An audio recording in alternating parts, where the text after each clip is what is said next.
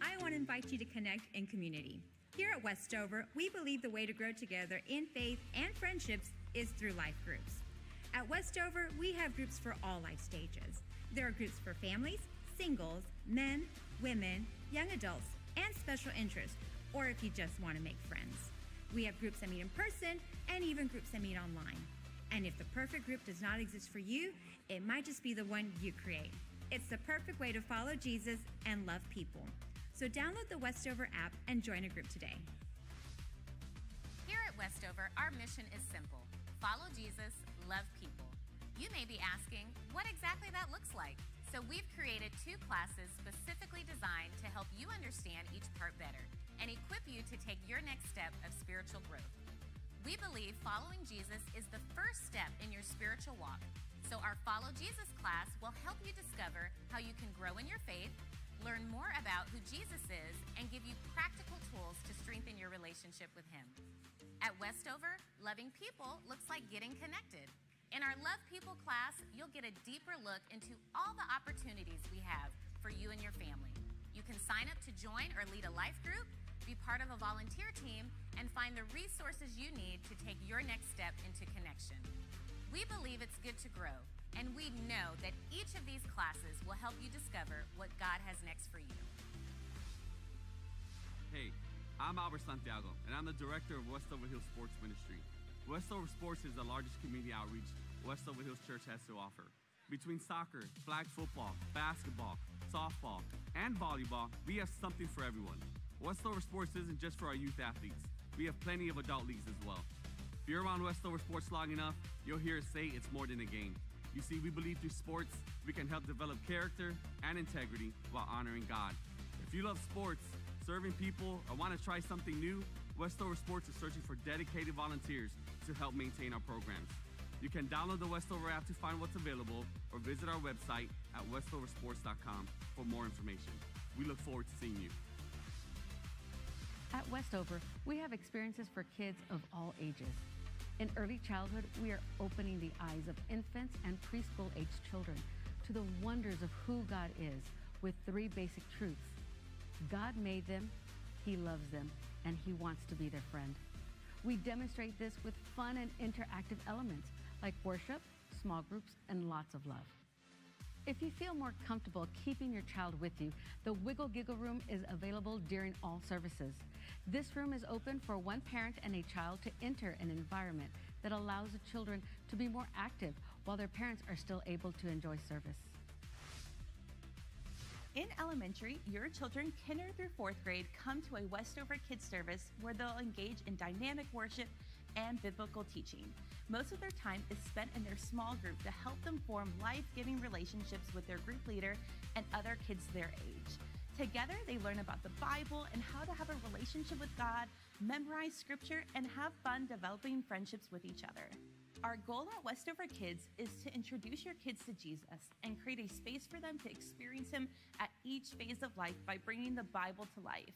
Our teams provide a safe, fun, and engaging experience where your child can be paired with a leader to guide them through service and to a closer relationship with Jesus.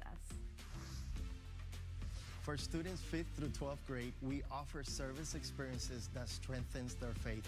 It builds relationships and helps them answer the hard questions of life. Our goal is to be a space where students feel welcome and where their friends become family. Each service, students will be a part of a life-giving worship. They'll be encouraged through age-appropriate messages and connect with leaders and peers in small groups. You can visit any of our Next Gen environments today.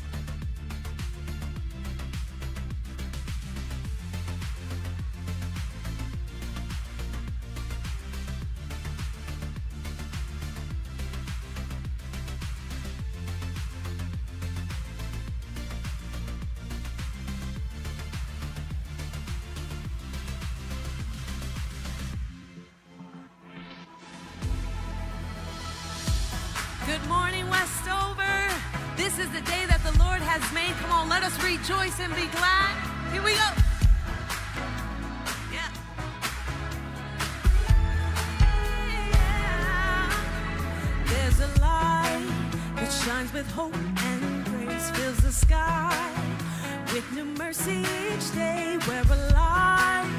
Let your glory pour out.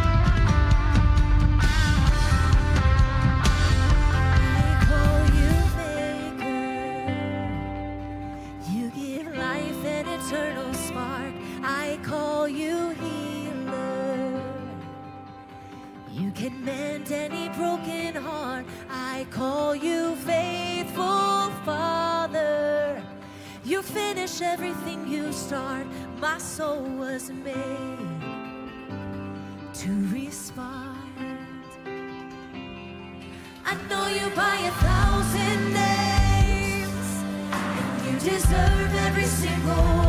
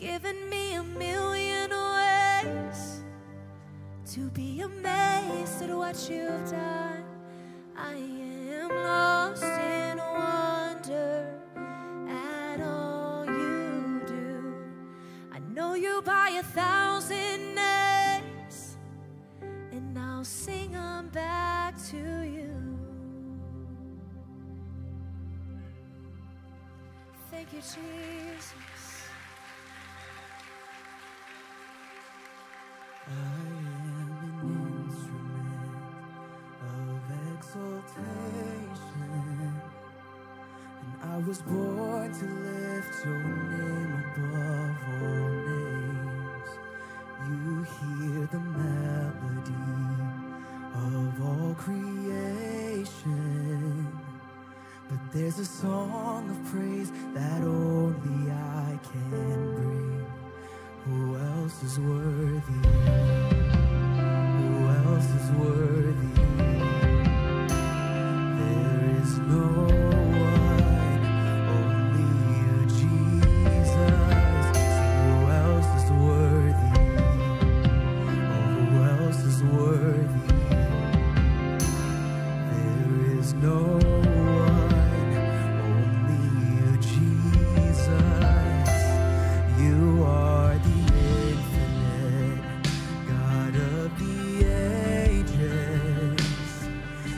you chose to make my heart your dwelling place. You healed my brokenness, showed me your glory. So I have songs of things not even angels sing. So who else is worthy? Lift your voice. Who else is worthy? There is no one.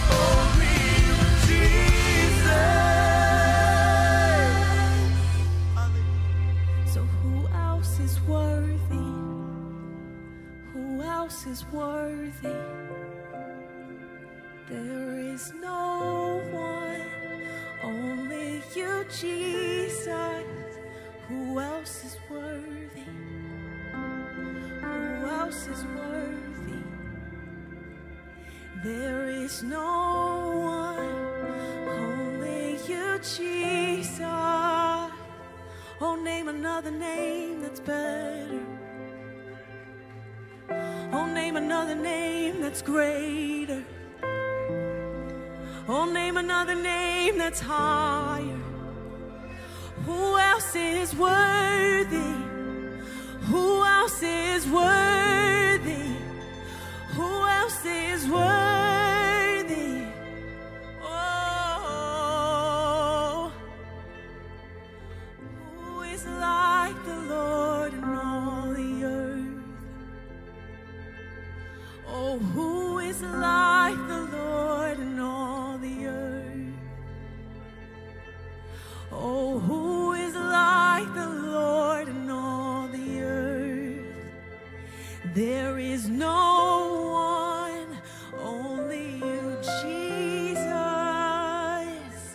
when you begin to think about the name of Jesus and what the name of Jesus means to your life, you can say, Who else is worthy?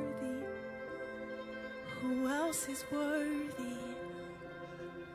There is no one.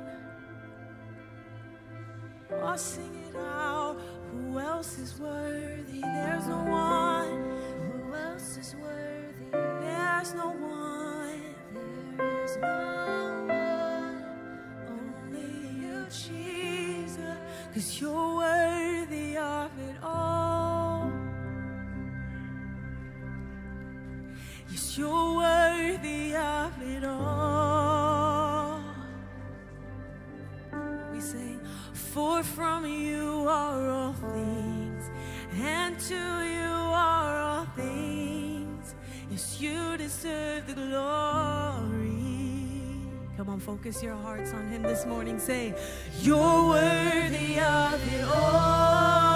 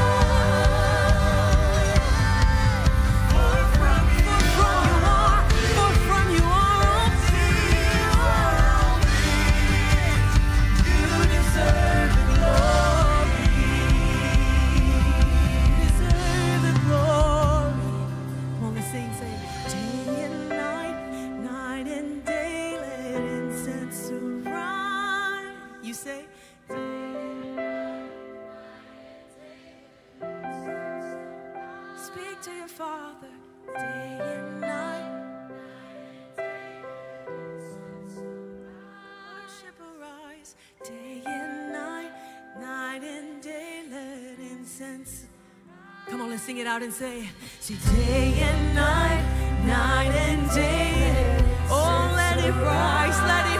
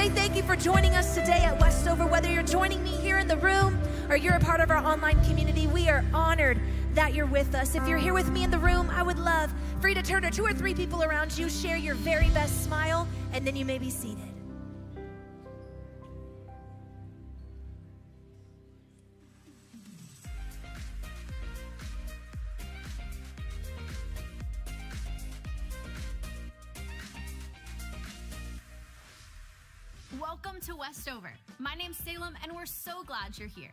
If it's your first time joining us, we want to connect with you. You can scan the QR code or fill out a Connect card and drop it in one of the contribution slots. Or bring it to Guest Central, where after every service, you can get to know our lead pastors. If you're joining us online, make sure to connect with us by clicking the link in the description. Water baptisms are today. We believe baptism is the next step after salvation and a public expression of our commitment to following Jesus. And we want to celebrate with all of you who have said yes to Him. Those six years old and up are invited to join us today after third service to take this next step at our outdoor water baptisms. To register and find more details, you can check this event out online or on our app. Just bring a towel, a change of clothes, and your family and friends to cheer you on. We'll see you there. Are you brand new to Westover? We want to get to know you. Join us for Sunday Social, an event for new people. It's the most exciting way to learn more about us, meet our lead pastors, and find your Westover community. Register online today and join us next Sunday after third service. We can't wait to see you there. Thrive es comunidad. Thrive is life changing. Thrive is home. Thrive is a loving space. Thrive is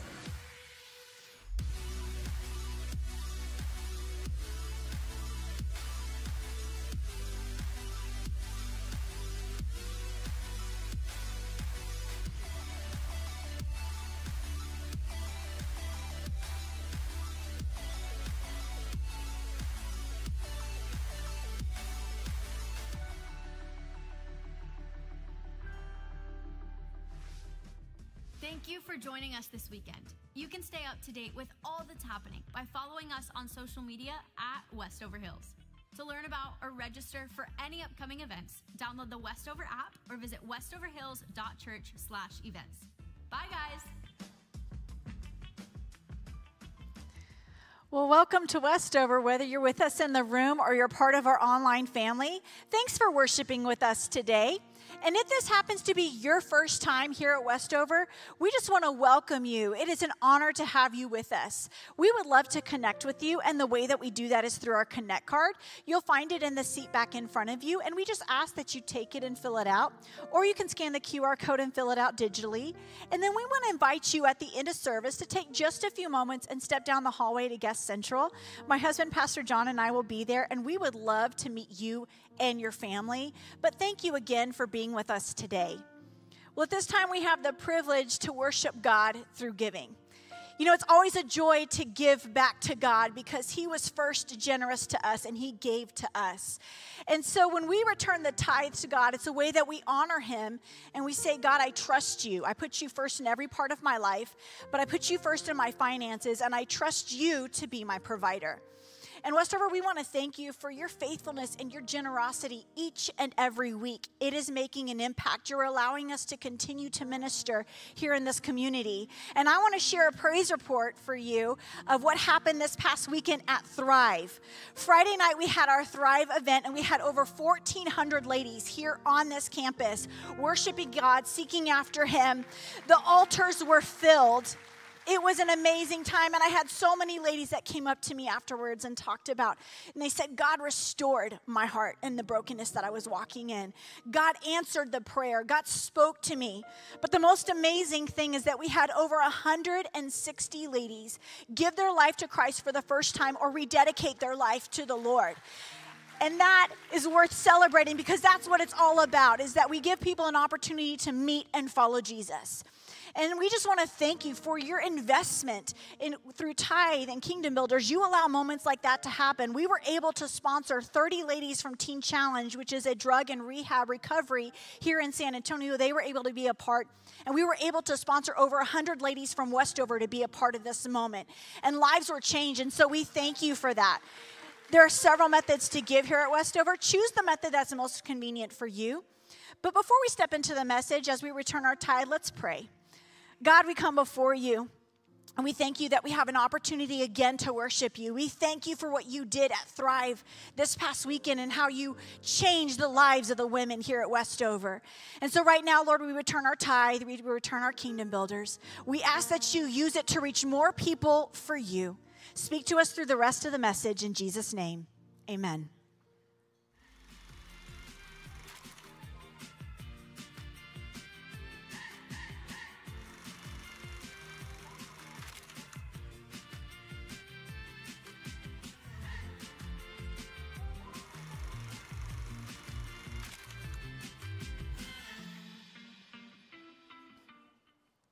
Well, today we're continuing our series entitled Picture Perfect, where God is inviting us to look at our life and our relationships through His eyes and not our own.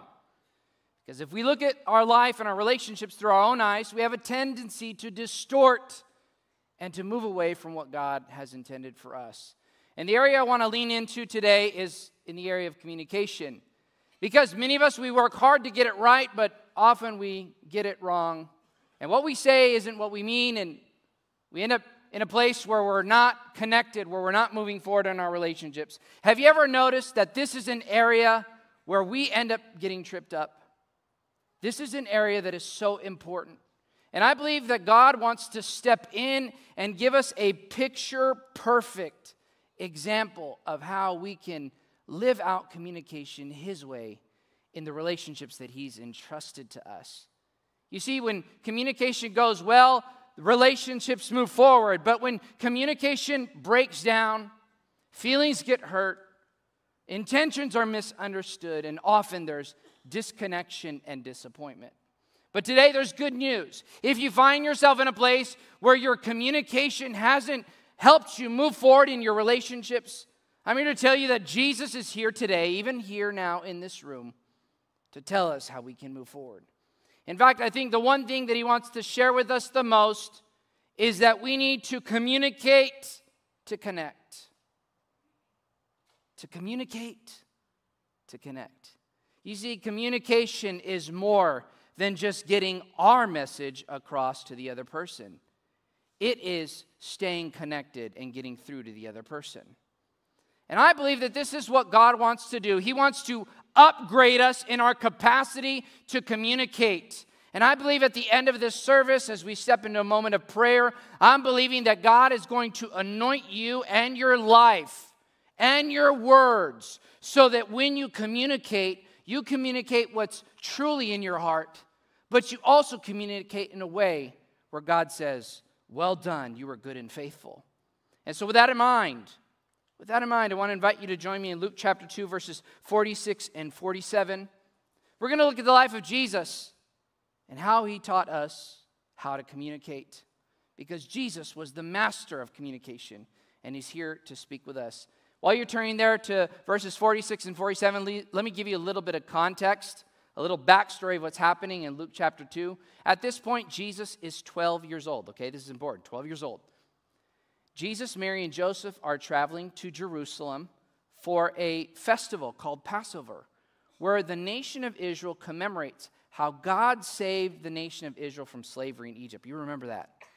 Now, after Passover, Mary and Joseph end up heading back to Nazareth. But after one day, they suddenly realize that they have not communicated because Jesus isn't with either one of them. I think Mary thought that Jesus was with Joseph, and Joseph thought that, that Jesus was with Mary, but they left Jesus behind. So they end up spending another day traveling back to Jerusalem and then three days. So get this, they lose Jesus for five days. Wow. So, parents, if you have any residual guilt and regret for leaving one of your children behind for 15 minutes, or maybe some of you are recovering still from being left behind years or maybe decades ago, just know you're in good company. They left Jesus for five days.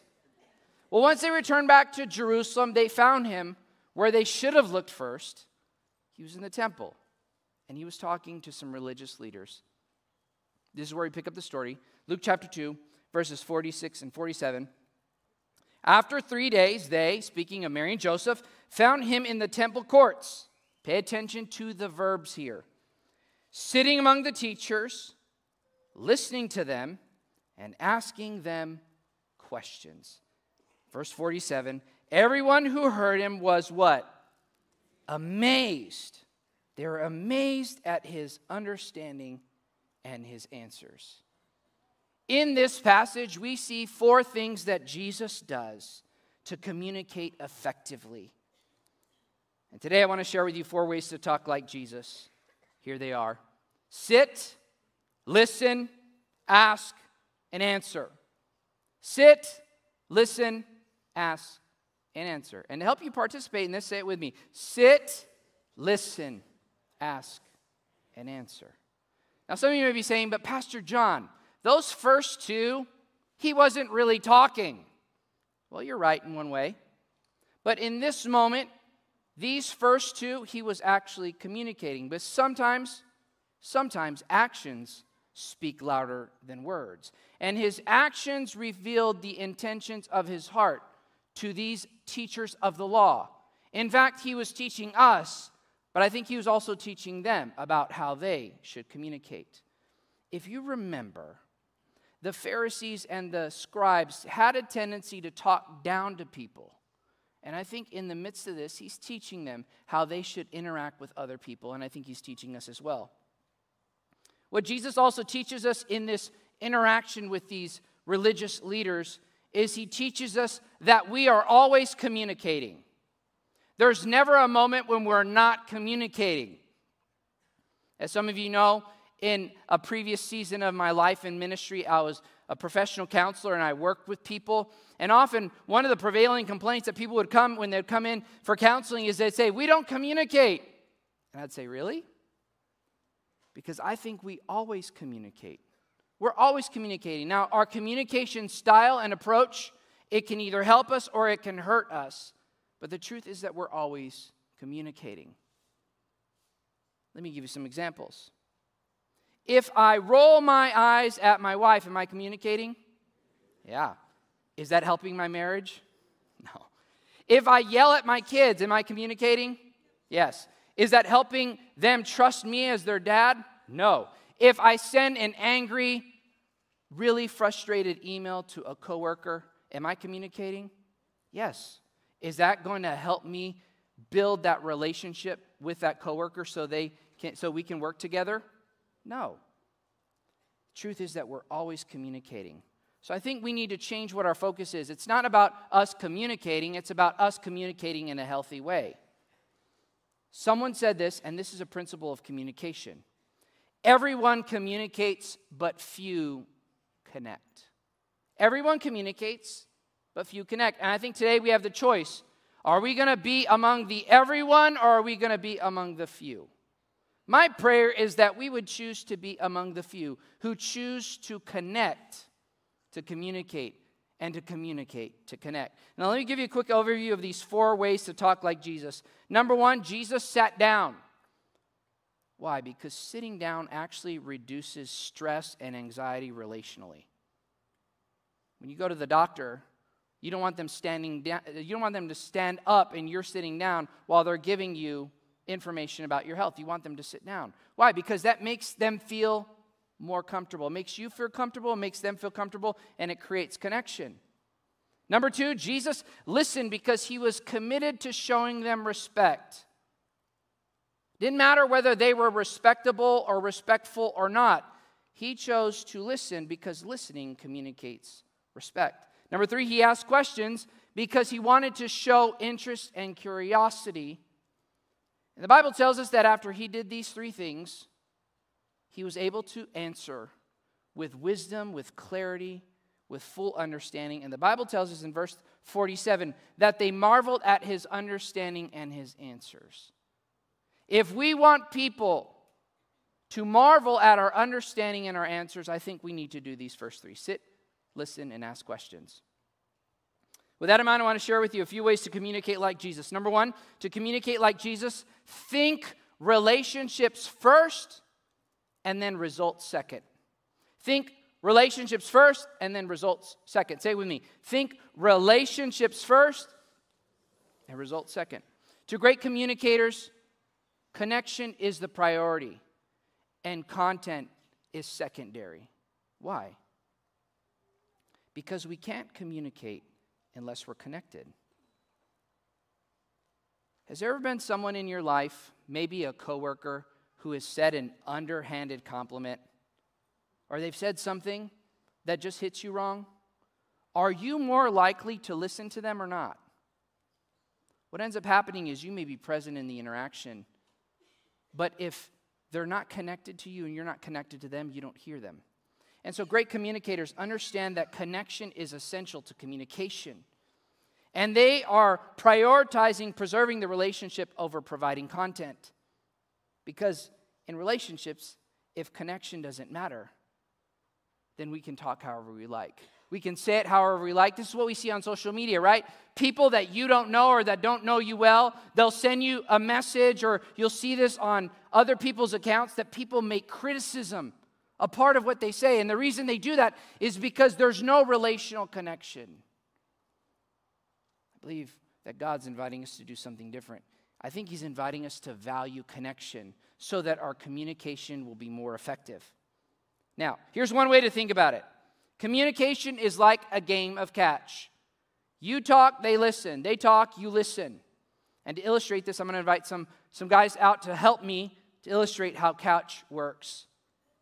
Catch only works if both people win. Both people have to agree to the terms and the unspoken rules of catch, where you've got to throw it so the other person can catch it, and vice versa. You see, if someone decides to break those rules, eventually the game of catch is going to end.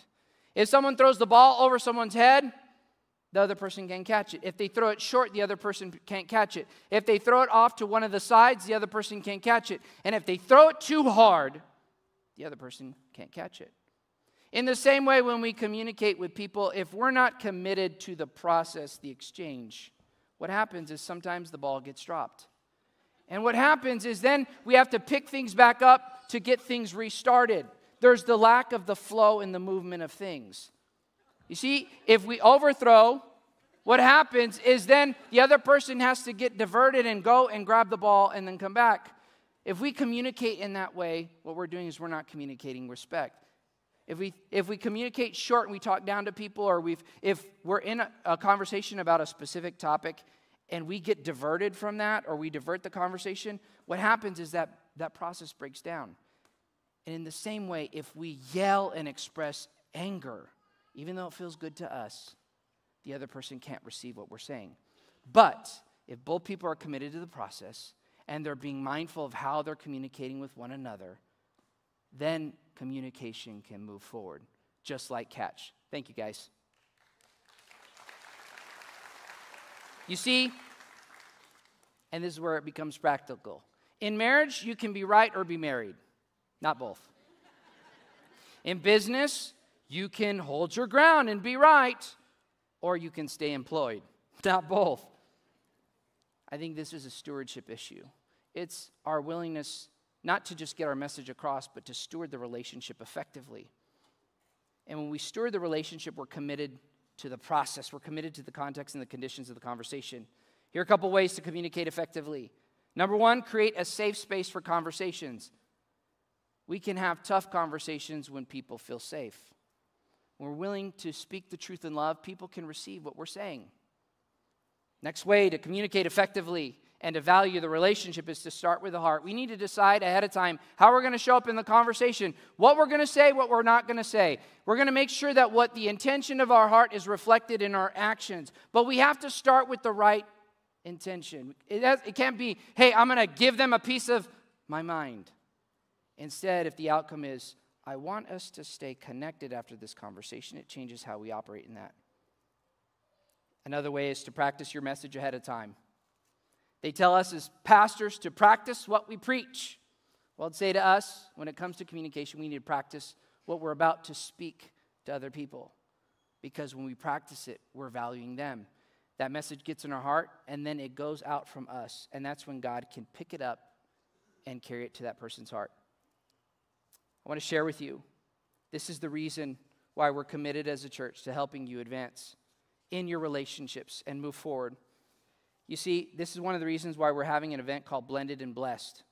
It's a, it's a conference, it's a live stream event for blended families. And we want you to win. If you're in a blended family, we want you to win. We understand that there are additional complexities and there's different relationships that need to be navigated, but we want you to know that God has wisdom for you to help you win in your blended family. And we want you to register today because I believe that if you set time aside for God to speak to you, He will help you learn how to value the relationships. And if you value the relationships, then the results will show up.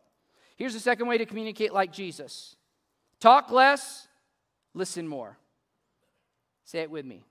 Talk less, listen more. In the age of social media, listening is a lost art. Everybody has a platform, everybody has an opinion. People want to be heard, but no one wants to listen. But here's what we learn from the life of Jesus is that he was committed to listening. Why? Because he wanted to communicate to the people who were right in front of him.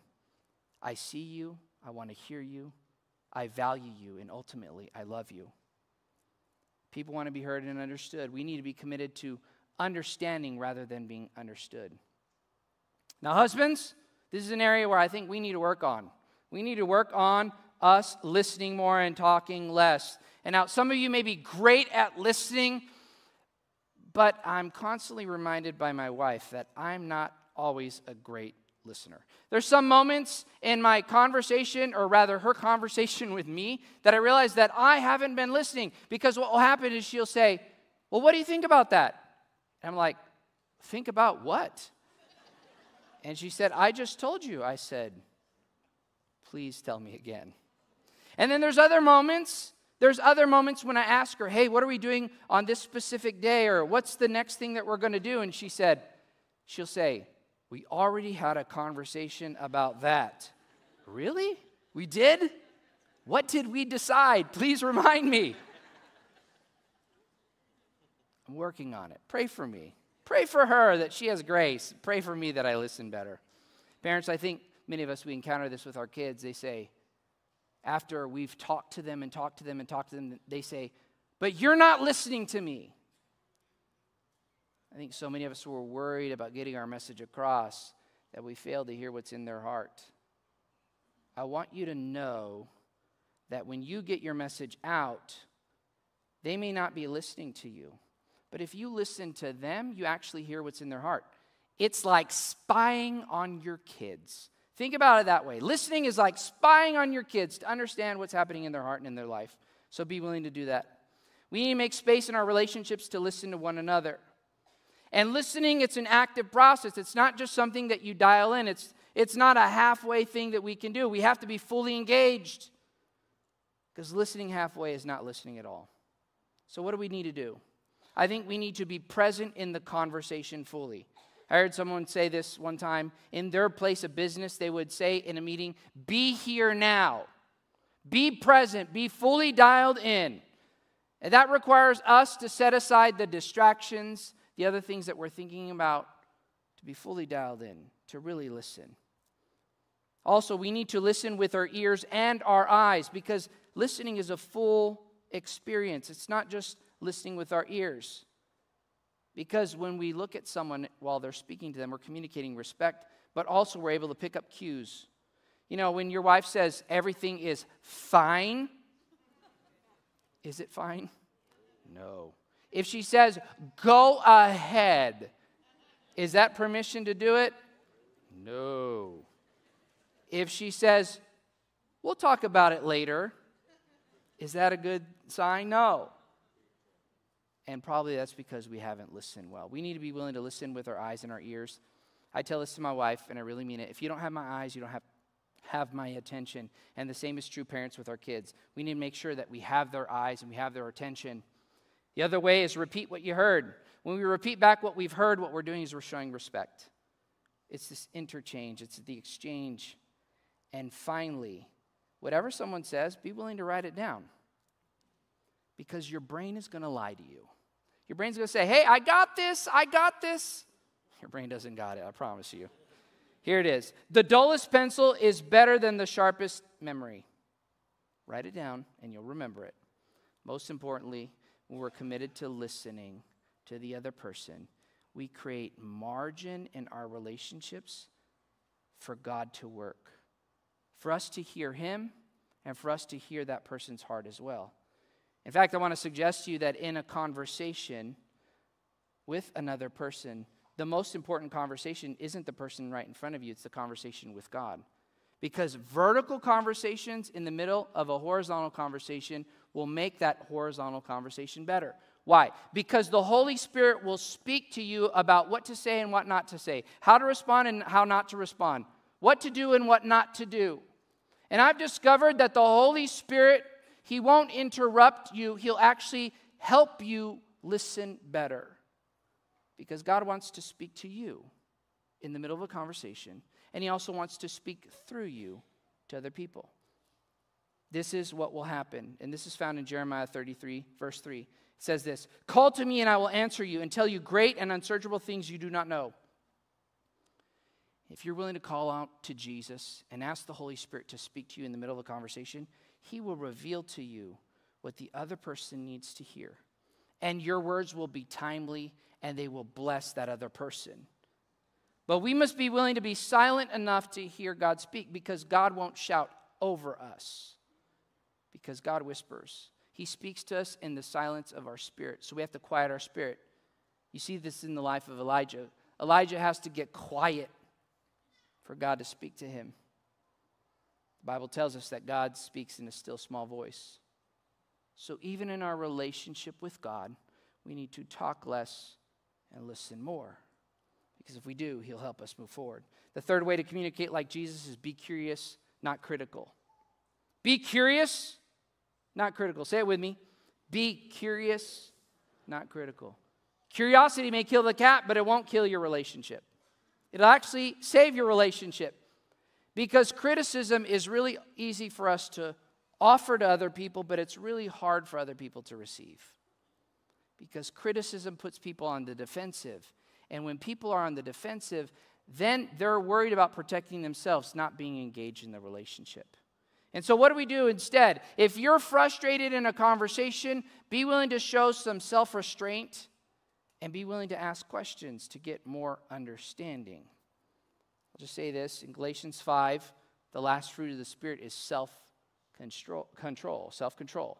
And if we choose to not prioritize this last fruit of the Spirit, we're going to be critical and not ask questions. Now, let me just be clear.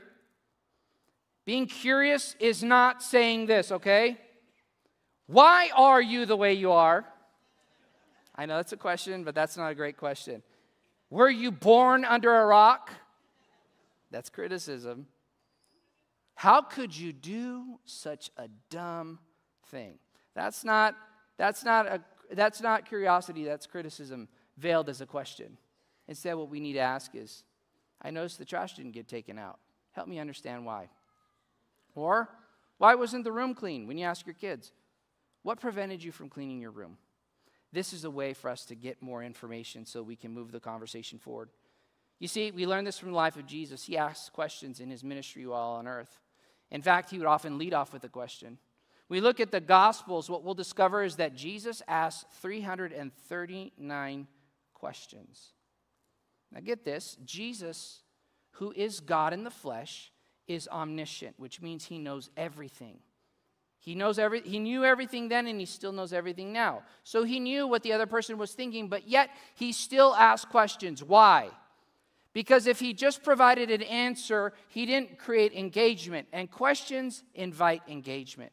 So Jesus asked questions to connect with people, to help them understand what they were thinking, to understand what God's will was, to pull them into God's preferred future. And questions, if they're good enough for Jesus, they're good enough for us.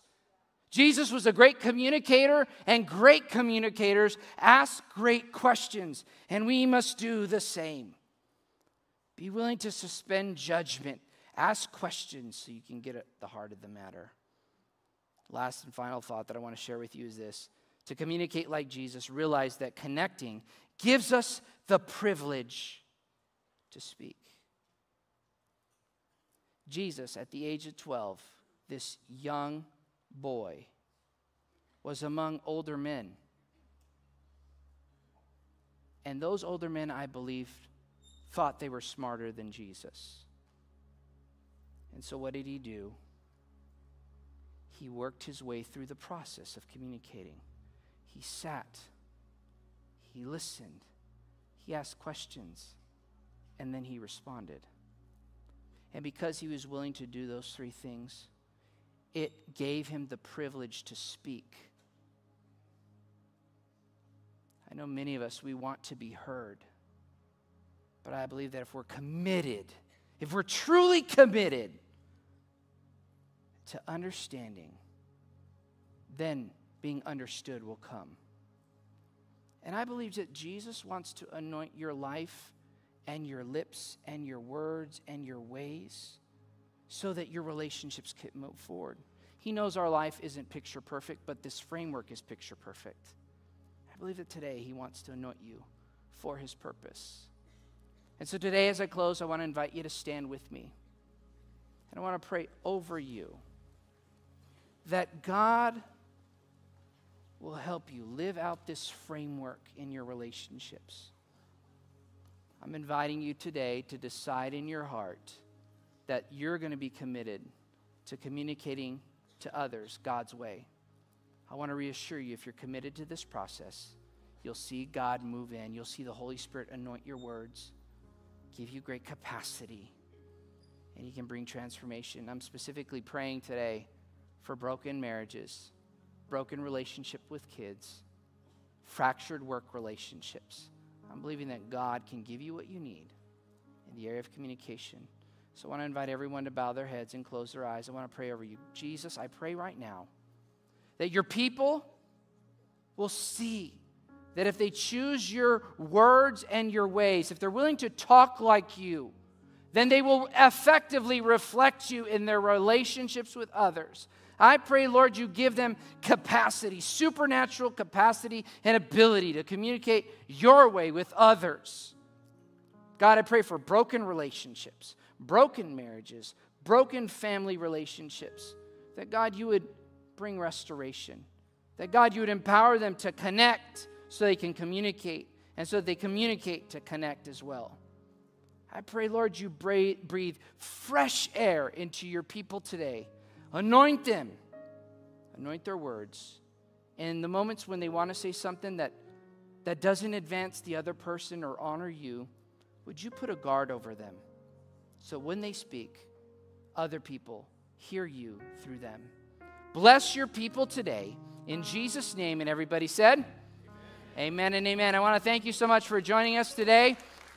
It's been a delight to have you here at Westover. Join us next weekend as I talk about conflict resolution in a way that honors God. God bless you, and we're dismissed.